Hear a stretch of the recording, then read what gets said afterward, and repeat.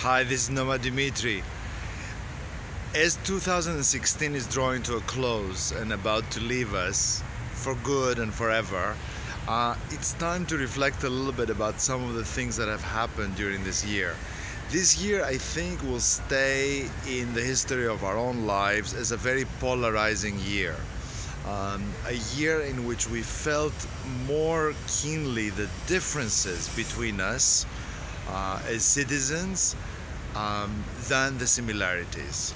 Uh, this is best exemplified by the election results in the United States, of course, where for the first time, really, the distances between the different parties, or more likely, the distances between the people that voted for Trump and those that didn't, were stronger than any other time before, at least in my lifetime. Um, and that's only the span that I'm talking about, you know, the particular generation that we live in right now. Um, what is one to do as we look forward to a new year that hopefully will bring new things, but we're dreading that's going to bring more of the same? What can we hope for?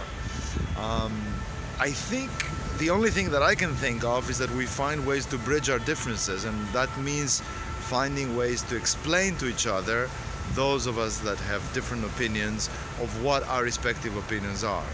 I think this because of X, Y, and Z reasons. You think this because of A, B, C reasons. How can we understand each other's viewpoint? Um, the word for this, of course, is compassion, and I don't think we can have enough of that.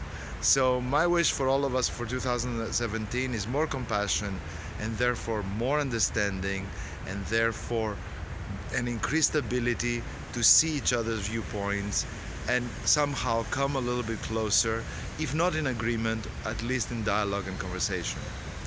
Nomad Dimitri, let's have a happy 2017, I hope. Bye.